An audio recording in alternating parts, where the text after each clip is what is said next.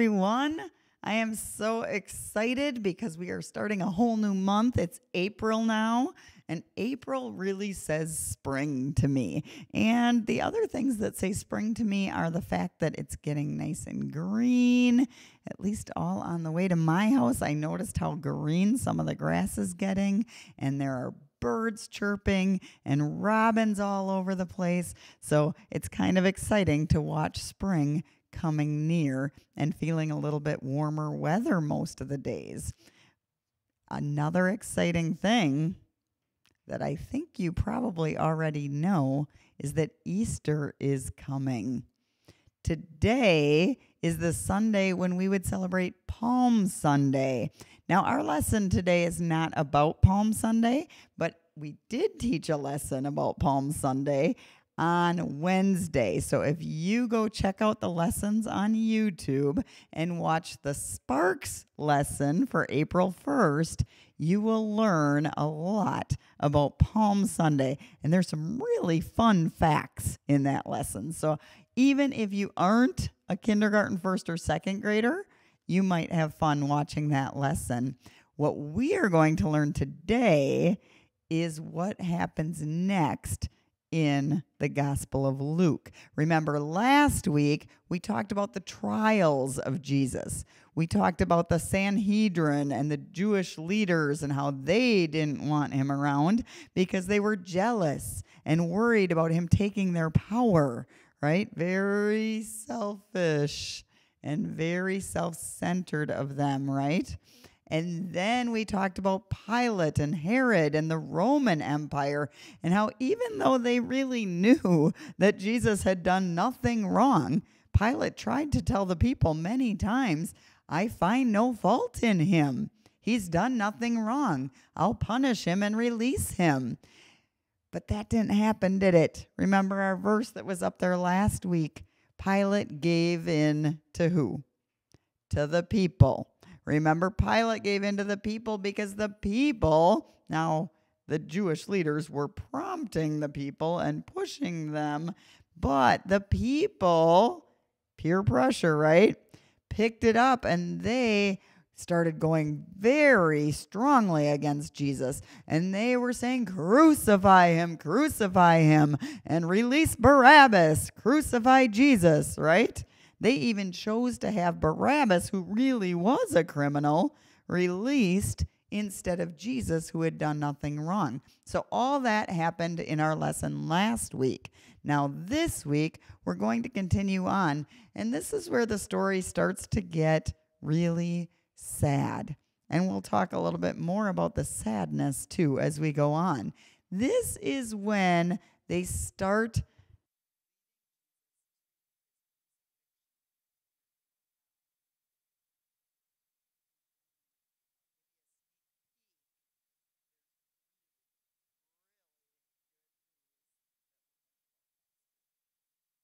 For now, let's look at Luke chapter 23. We're starting with verse 26 today. And it starts with the crucifixion. And it says, As they led him away, they seized Simon from Cyrene, who was on his way in from the country, and put a cross on him and made him carry it behind Jesus. So this guy is coming in, and they grab him and they make him carry a cross behind Jesus too. Wow. Hmm. You know what that does make me think of, though? This man, even though he wasn't really a follower of Jesus, but it made me think about how Jesus tells us that we need to take up our cross and follow him. It kind of gives that picture of seeing this other person and that other person would be us, following Jesus by carrying our own cross, right? And that means our own burdens. We have to give up all the having it our own way all the time, right? To be able to follow Jesus the way we are supposed to.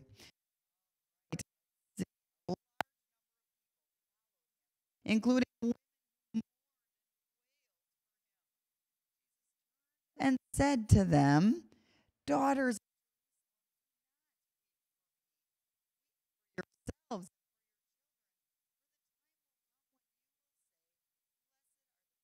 women that never nurse. They will say to the mountains fall on us and to the hills cover us for if men do these things when the tree is green what will happen when it is dry and we're not going to go deep into that part because it can get a little bit confusing. But I do want to make sure you understand that Jesus is saying, Don't cry for me. Don't cry for me. You need to be crying for yourselves, for the people, the people who don't know me. You need to be crying for the people who are sinning and sinning and sinning and not repenting so they will never be saved. We need to cry for them. We need to reach out to them. We need to teach them about Jesus because those are the people that will have it way worse if we don't help them get to know who Jesus is and to invite him to be their Savior too. All right. Two other men Hmm. Two other men, both criminals. So these guys really are criminals. Remember Barabbas? He's not one of them because he was released. But these are two other men who were tried and convicted and are also going to be crucified. So these two other men, both criminals, were also led out with him to be executed.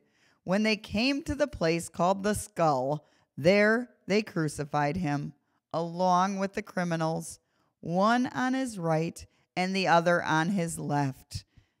Now this this is probably my favorite verse in this whole section because it is so important that we understand it. It's not our verse of the day for whiteboard, but it is a very important verse. Remember, there are criminals on his right and a criminal on his left, and Jesus is being crucified, which, guys, I'm not going to go into the details. Pastor Tim does a little bit in his sermon, but it's a terrible, terrible death. A lot of people have said that have studied it have said it is the worst possible way that a person could have to die. And this is what Jesus is about to face. And do you know what he says? He says, Father, forgive them, for they do not know what they are doing. Wow. You guys, forgiving is hard. When people do something to us that isn't very nice, or we really feel like they've hurt us in some way, whether they've hurt us by hitting or kicking or biting, or whether they've hurt us by hurting our feelings or saying mean things or making other people think badly of us, it's hard to forgive someone when we really are sure that they've done something wrong against us. But here, Jesus, as he's being hung on the cross in the most horrible, painful way that could ever be, instead of feeling bad for himself, he is forgiving them. He's forgiving the people who are insulting him, who are being cruel to him, who are hanging him on a cross, and saying, Father God, they don't know what they're doing. Wow. So when we're thinking it's kind of hard to forgive someone, we need to remember that Jesus forgave them while they were still doing it. Sometimes we are like, you know what? I I would like to forgive, but I'm just not ready yet. I just it's going to take me a while.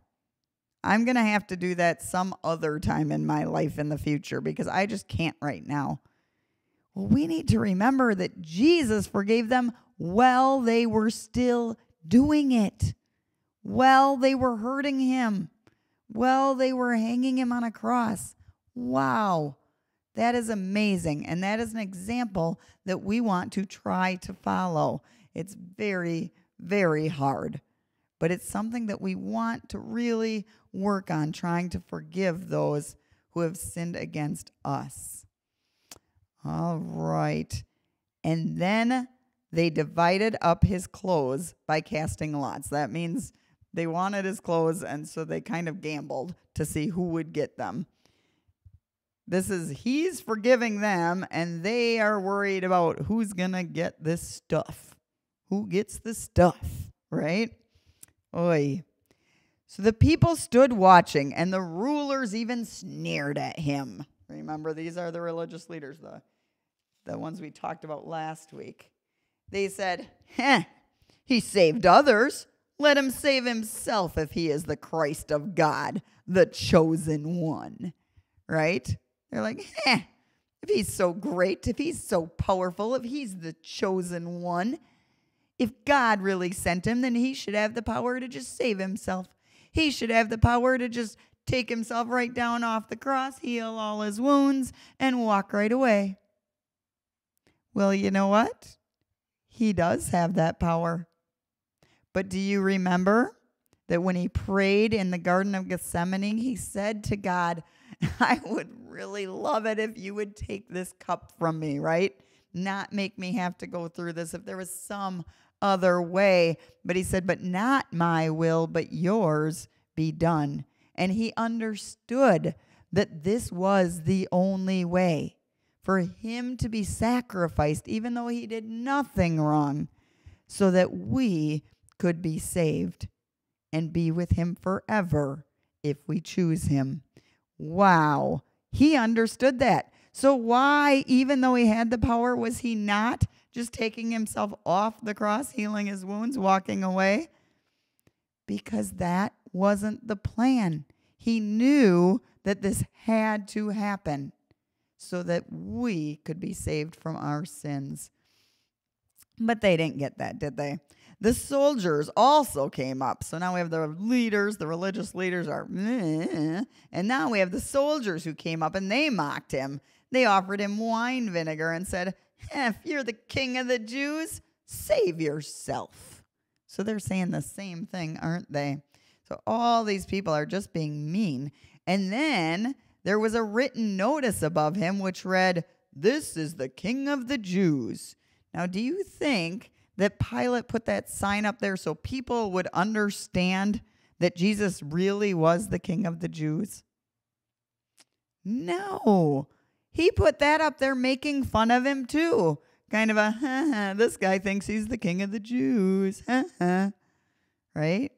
So that wasn't nice either.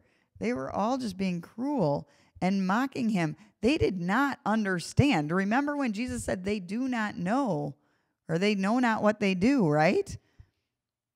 They did not understand at all. They were not realizing who Jesus really was and that he actually, truly was who he said he was.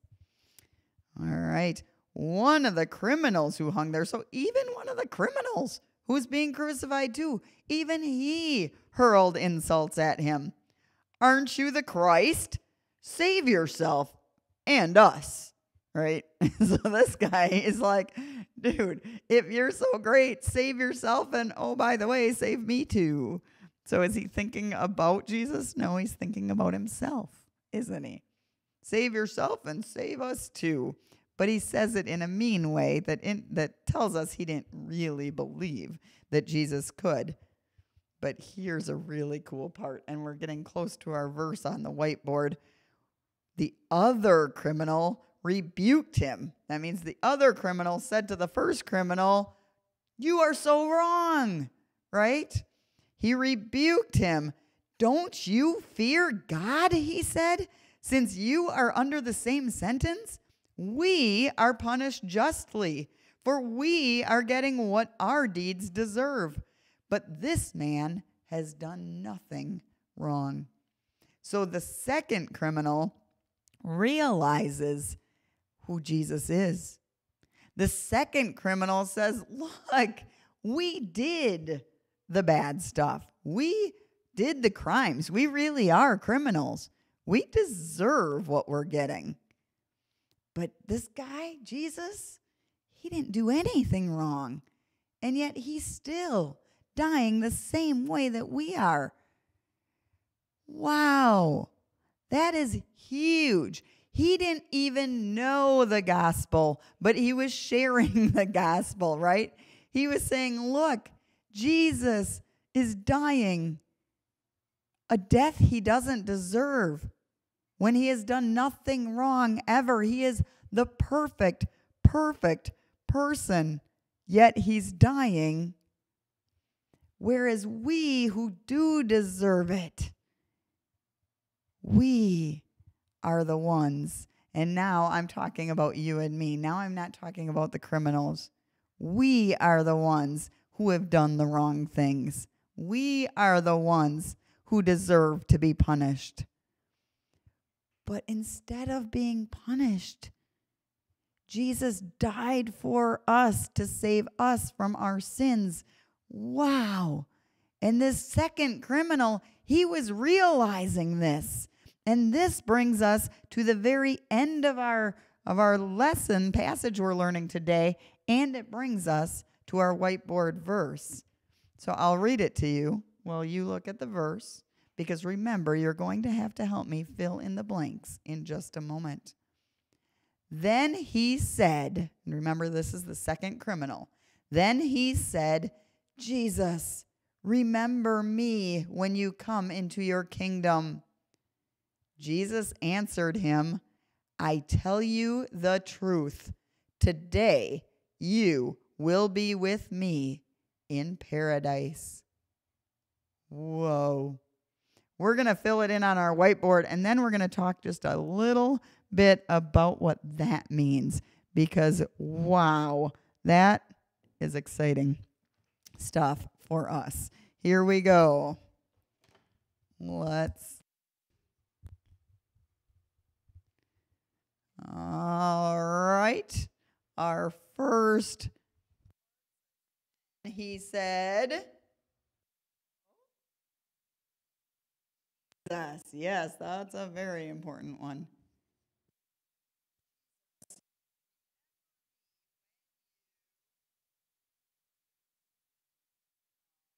Yep, come into your right kingdom. So he is recognizing that Jesus is who he says he is, that he will be going to a kingdom that is greater than any earthly kingdom. And it says, Jesus answered him, right? Now remember, they are on a cross. So they are in terrible, awful pain, yet they understand that this is important conversation that needs to be had. So even though the criminal's in pain, he wants to ask Jesus, Please, Jesus, I realize who you are. Remember me. And Jesus understands how important it is that this criminal rec- under, that he wants the criminal to understand that he has now been saved. Jesus answered him, I tell you the truth.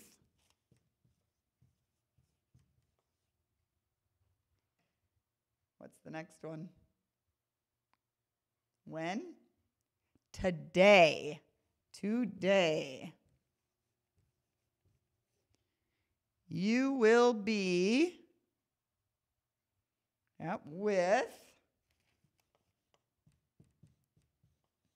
me, so with Jesus. And we know when, today, with me in where? Paradise. Yes, paradise. All right, nice job. Okay, so love the verse, Father, forgive them, for they know not what they do. That, oh, is such a great verse, too. But this is so important, and I chose these verses because this helps us really understand what Jesus is offering to us, this gift that he gives us. This criminal didn't know Jesus until now. But even as he's dying, he realizes who Jesus is. He believes in Jesus. He has faith and he shares that and he says, Oh, Jesus, remember me, be with me. I get it. I believe in you. I have faith in you. I know that you are the true savior. I know that you are going to your godly kingdom and and Lord, remember me as you go there. And Jesus tells him the greatest news ever. And the reason I want to make sure that we focus on this is because that news is not just for this criminal. That news is for you and for me and for all the people. Because God created every person in his image. God wants every person to turn to him, but not everyone does. But Jesus is giving this gift to everyone who will accept it. He's saying, Look, faith, have faith, believe in me, understand who I am, and want me in your life. And I will gladly give you this gift of eternal life and salvation with me, with Jesus, right? Wow. This guy, he's about to die. Is he going to have time to do all the right things? Is he going to have time to read the Bible? Is he going to have time to learn how to pray and really have a lot of conversations with God? Is he going to have time to go to church? He probably has never been to Sunday school. Is he going to have time to go serve lots of people and do good works? No, he's not going to because he is about to die. So Jesus makes clear that what is important is believing in him, having faith in him. Guys, doing all the right things is not is not what gets us eternal life with Jesus. Believing in him, loving him, having faith in him is what gives us the chance to say yes, please. I love you, Jesus. I understand who you are. I am a sinner, but you are perfect, and I want to be with you forever. I want you to be in my life. I want to live my life for you because thankfully, we are not on the cross. We are not about to die. So we do get the chance to live our life while we're here on earth for Jesus. We do get the chance to read the Bible. We do get the chance to pray and talk to Him every day. We do get the chance to come to church, to get to know other believers, to help other people get to know Jesus too. We do get to serve others as God would want us to and really make a difference. We get to spend each day doing all that we do even the things like playing and eating, right? Even those things, we do it all for His glory. Wow. This guy, yes, he got to be saved because he did what it takes. He believed, he had faith, he knew who Jesus was, and he asked Jesus. But he's never going to get the chance. He did not get the chance that we get every day. So, you guys, if you have accepted Jesus as your Savior, it is an honor and a privilege that we get to live for Him. All the good works, all the stuff that we get to do following Him that He tells us in the Bible, that is a privilege to us. That is awesome that we get the time to do those things. Wow. So what I am going to ask you today is to really think about what can you do to follow him? Are you taking advantage of all the time he's given you to be able to do those things that will help you be even closer to him? And while you have this extra time at home, most of you have all this extra time, right? Are you using that to grow closer to Jesus? Are you using that extra time to be together as a family and pray and play and eat and learn and care all for the glory of God? I sure hope so. And if you haven't yet, today can be the day. And for anyone out there who's like, I'm not sure about all this, I don't know if I really do get this whole thing and believe yet. Come talk to me. You can call me, have your parents go talk to your parents, or have your parents connect you with me. Let's talk about your questions. Let's figure out what you still don't quite understand, what seems confusing to you. Let's talk more about that. Let's invite Jesus to help you learn more so you can get to the place where you can ask Him to be your Savior.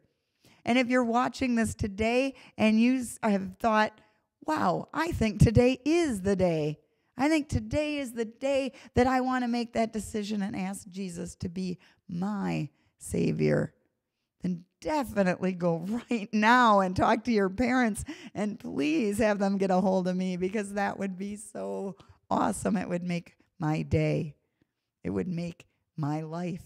I love to hear when kids and even grown ups accept Jesus for the first time. All right, guys. That's what I have for you. I do want you to know that we are putting together even more fun stuff. We did our first Zoom chat just on Friday. And so, like, I think six or seven families hopped on and they were able to see us, and we did a story and a learning thing. We're working on putting together one that's just for older kids. So, if you're third, fourth, or fifth grade, then we are going to put something together just for you. And um, let's see, we have some other great fun activities. I'm putting together an Easter plan. So stay tuned to make sure you're watching to see what's going on. Because even though we aren't together in person, there is a lot going on. And I may just have some challenges for you too that would be super fun. All right, we'll talk to you later. Have a great week. Bye, guys.